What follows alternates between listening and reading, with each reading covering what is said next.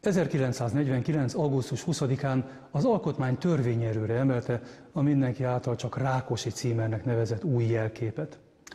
Kerülöm a kifejezést, hogy ez címer lett volna, hiszen a heraldika szabályai szerint a címer alapvető tartalmi eleme egy pajzs, és ebből a pajzs kimaradt. De ez nem is csoda, hiszen a heraldika ebben az időben áltudománynak minősült a Rákosi címer kitalálói számára sokkal fontosabb szempont volt a kommunista országok közösségéhez való tartozás kifejezése, ezért mintául a szovjet köztársaságok hasonló címereit választották, annak ellenére, hogy ez egyértelműen nem volt kötelező, hiszen például a csehek is megtartották az oroszlános címert, a lengyelek a sast.